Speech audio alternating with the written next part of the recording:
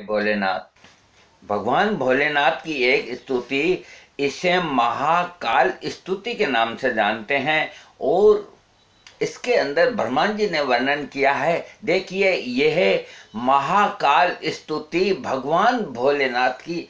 सुने आप नमोस्तवन रूपाय नीलकंठ नमोस्तु ते।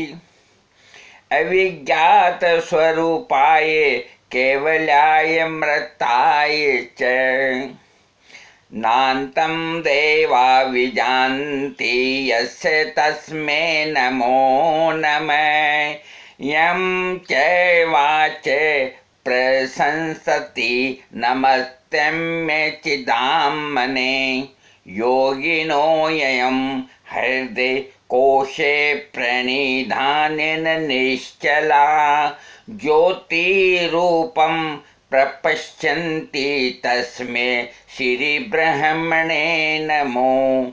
कालापतराय कालाय, स्वेच्छया पुरुषाय च गुणात्रयस्वरूपाय नमः प्रकृति रूपिणे ब्रह्मा जी बोलते हैं। हे नीलकंठ, आपके अनंत रूप हैं। आपको बार बार नमस्कार है। आपके स्वरूप का यथावत ज्ञान किसी को नहीं है। आप केवल एवं अमृत स्वरूप हैं। आपको नमस्कार है। नमस्कार है सुने आप विष्णवे सत्वरूपाय रजोरूपाय वेद से तमोरूपाय रुद्राय स्थिति सगानकारिणे नमो नम।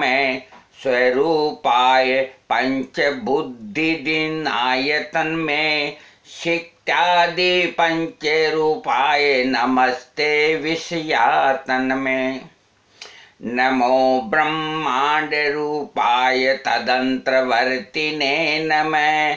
आर्वाचीन पराचीन विश्वरूपाय ते नमः अचिन्त्य नित्यरूपाय सदस्य तत्पये नमः। नमस्ते भक्त कृपाय स्वेच्छा विकृत विग्रह तव नि स्वसितं वेदासत्त्ववेदोऽखिलं जगत् विश्वभूतानि ते पाद शिरो धो समवर्तत। हे जगत की स्थिति, उत्पत्ति और संहार करने वाले सत्व स्वरूप विष्णु रजो रूप ब्रह्मा और तमो रूप रुद्र आपको नमस्कार है नमस्कार है नमस्कार है।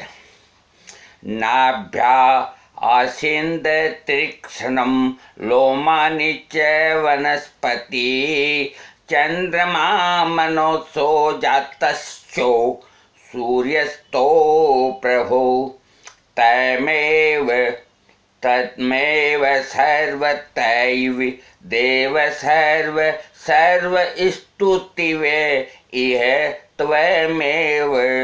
ईश त्वया व्याचमिदं हि सर्व नमोस्तु भूयोपि नमो नमस्ते हे नाथ।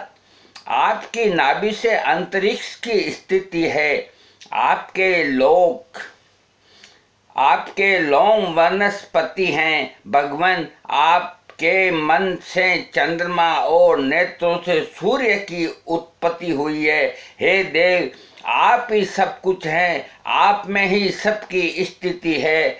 आप लोक में सब प्रकार की स्तुतियों के द्वारा स्तवन करने योग्य आप ही हैं। हे ईश्वर, आपके द्वारा ये संपूर्ण विश्व प्रपंच व्याप्त है। आपको पुण्य पुण्य। नमस्कार है। नमस्कार है। जय भोलेनाथ जय विश्वनाथ।